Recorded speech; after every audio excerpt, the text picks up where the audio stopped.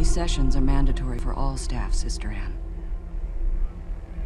My mother struggled with depression. Annie, Annie, honey, can I come in?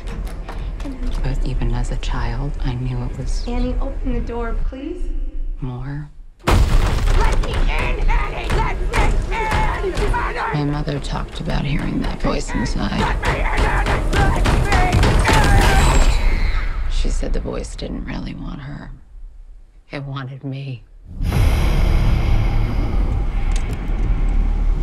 The citadel has fallen. Black smoke blots out the sun. Because as some of you may already know, we have a female student in the class, only as an observer. So, let's descend into the mouth of hell, shall we?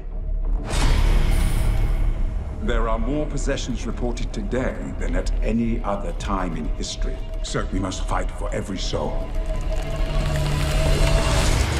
Defend us in battle against the spirits of wickedness.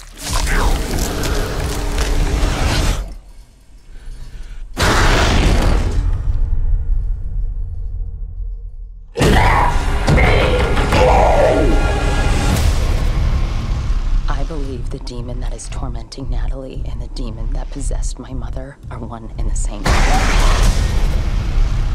I'd like to teach Sister Anne just enough to protect herself and others.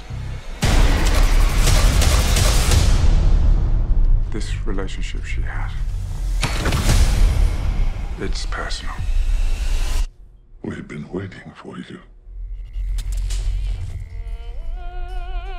Your mother has a pretty voice.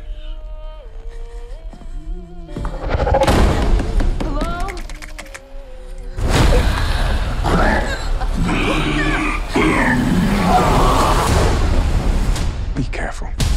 Once you know the devil, the devil knows you.